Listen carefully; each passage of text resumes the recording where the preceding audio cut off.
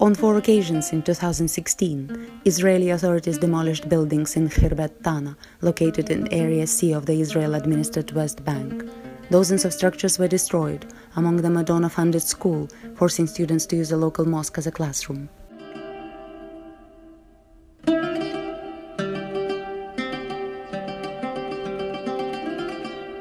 As a result of the four Israeli demolitions in the community, 151 structures were demolished.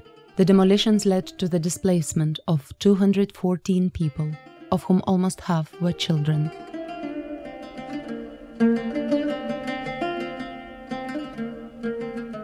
في 2005 هدموا لنا أنا شخصيا هدموا لي بركس للغنم وهدموا لي غرفتين بلوك زي هيك وسقفهن زينكو وردونا أعدنا بنائهن وفي 2011 هدوا لنا اياهن 2010 2011 ست مرات متتالية.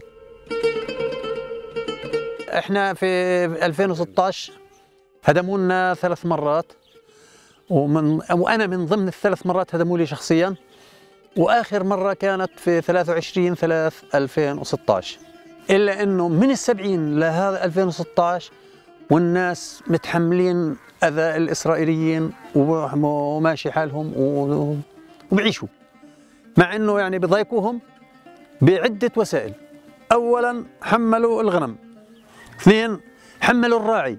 يعني يأخذوا الغنم ودفعوهم عليها ضرائب. طخوا الغنم. هذا الجامع ضربوه قذيفة وكان في ناس وقتلوا الخرفان باب الجامع. وهذا الحكي ما ثناش الناس عن إنهم يظلوا في طانه ومش ممكن يعني يدشروا فطانة. إحنا هذا عم ابنى المدرسة حاليا. انهدمت في 2011 ثلاث مرات وبنيناها في مكان آخر وانهدمت مرة. هيها موجود ردم ركامها بنتها إحدى المؤسسات ركامها موجود وانهدت وراحت. الطلاب بنعلمهم في المسجد وبنستغله مدرسة في نفس الوقت. On the 3rd of January 2017, Israeli forces targeted the community again, demolishing 49 structures. Israeli authorities issued a stop working order to the recently EU financed school, a move that could pave the way for a new demolition. Official data released by the Israeli authorities indicate that over 11,000 demolition orders are currently outstanding in Area C of the West Bank. These orders heighten the vulnerability of thousands of poor Palestinian households some of whom are at imminent risk of forcible displacement.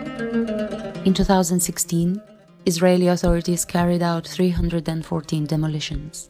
1,056 structures were either demolished or seized. 302 out of them were donor funded. These demolitions led to the displacement of 1,480 Palestinians, half of whom were children.